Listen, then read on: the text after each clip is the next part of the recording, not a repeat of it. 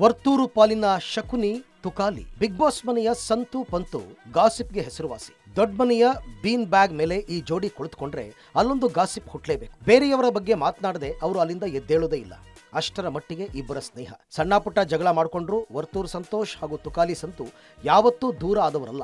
ಸದಾ ಜೊತೆಯಲ್ಲೇ ಅಂಟ್ಕೊಂಡಿರ್ತಾರೆ. ಆದರೆ ಟಿಕೆಟ್ ಟು ಫಿನಾಲೆ ಟಾಸ್ಕ್ನಲ್ಲಿ ವರ್ತೂರು ಅವರಿಗೆ ತುಕಾಲಿ ಸಂತು ಮೋಸ ಮಾಡಿದ್ರು ಅಂತ ನೇರವಾಗಿ ಆರೋಪ ಮಾಡಿದ್ದಾರೆ ವಿನಯ್. ವರ್ತೂರು ಇನ್ನೂರು ಅಂಕಗಳನ್ನ ದಾಟಿಕೊಂಡು ಆರಾಮಾಗಿ ಫಿನಾಲೆ ಟಾಸ್ಕ್ನಲ್ಲಿ ಇರ್ತಾ ಇದ್ರು. ಆದ್ರೆ ಅವರಿಗೆ ಅಷ್ಟೊಂದು ಅಂಕ ಬಾರದೇ ಇರುವ ರೀತಿಯಲ್ಲಿ ತುಕಾಲಿ ನೋಡ್ಕೊಂಡ್ರು ಅಂತ ಮಾತನಾಡ್ತಾ ಇದ್ದಾರೆ. ವರ್ತೂರು ಅವರ ಪಾಲಿಗೆ ತುಕಾಲಿ ಶಕುನಿಯಾದ್ರು ಅಂತ ಲೇವಡಿ ಮಾಡಿದ್ದಾರೆ. ಟಾಸ್ಕ್ ವಿಚಾರದಲ್ಲಿ ಯಾರು ಏನಾಗ್ತಾರೆ ಅಂತ ಹೇಳೋದು ಕಷ್ಟ. ಟಾಸ್ಕ್ ಆಡುವಾಗ ತಾವೇ ಗೆಲ್ಬೇಕು ಅನ್ನೋದು ಪ್ರತಿಯೊಬ್ಬರ ಗುರಿ. ಹಾಗಾಗಿ ಎದುರಾಳಿಗಳನ್ನ ಸೋಲಿಸೋದಕ್ಕೆ ನಾನಾ ತಂತ್ರಗಳನ್ನ ಮಾಡ್ತಾನೆ ಇರ್ತಾರೆ. ಟಿಕೆಟ್ ಟು ಫಿನಾಲೆ ಟಾಸ್ಕ್ನಲ್ಲಿ ವರ್ತೂರು ಅವರಿಗೆ ಹೆಚ್ಚು ಅಂಕಗಳು ಹೋಗದಂತೆ ನೋಡಿಕೊಂಡಿದ್ದು ತುಕಾಲಿ.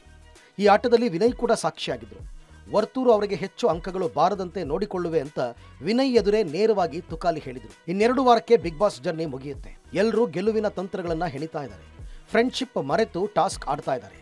ಈಗಾಗಲೇ ಸಂಗೀತ ಫಿನಾಲೆ ವೇದಿಕೆ ಹತ್ತಲು ಟಿಕೆಟ್ ಪಡೆದುಕೊಂಡಿದ್ದಾರೆ.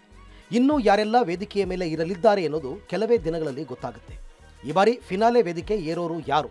ಟ್ರೋಫಿ ಹಿಡಿಯೋರು ಯಾರು ಎನ್ನುವುದು ಸದ್ಯಕ್ಕೆ suspense. Digital desk Public Music.